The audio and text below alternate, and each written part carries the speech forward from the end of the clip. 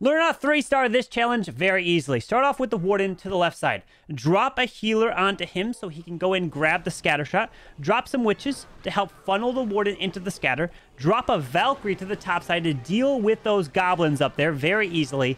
And then you're going to pull the Warden with the recall and the clone up healers. Yes, look, I'm going to clone up my healers to clear that side. Then the Warden will clear the right side, and then we send the Valks right up the core of this base. So we're going to recall that Warden there. And we can go ahead and clone up these healers again to really heal up this Warden here. That multi is going to be hitting us. But as this Warden's going to go through here, we're going to recall him one more time after this multi goes down. And let's go ahead and send the Warden right up the core. We can drop a Skeleton spell onto the Scatter Shot. Clone up the Valkyries as we run through. Oh, that's a healer. Protect everything through here and crushing this one. You guys can probably swag tons of spells, tons of troops,